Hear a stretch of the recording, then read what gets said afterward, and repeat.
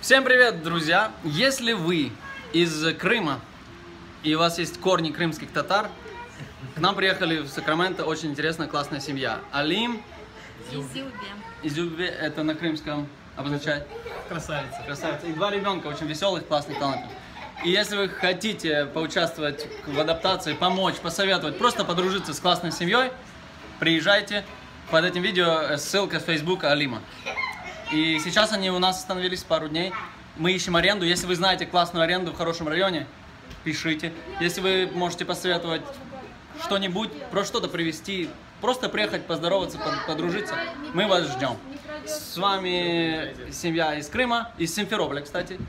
И наша семья э, скромная, но дружелюбная. Пока.